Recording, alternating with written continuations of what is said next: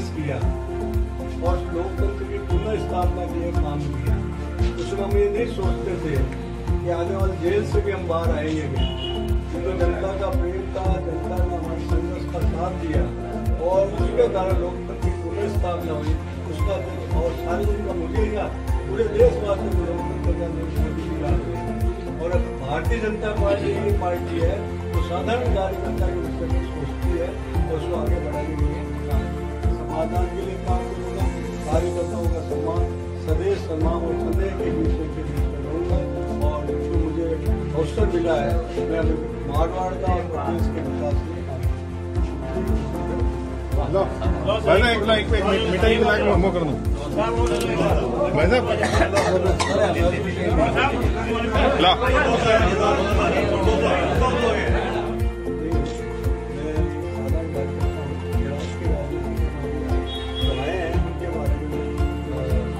साहब आप राजस्थान में संगठन में सक्रियता से काम किया।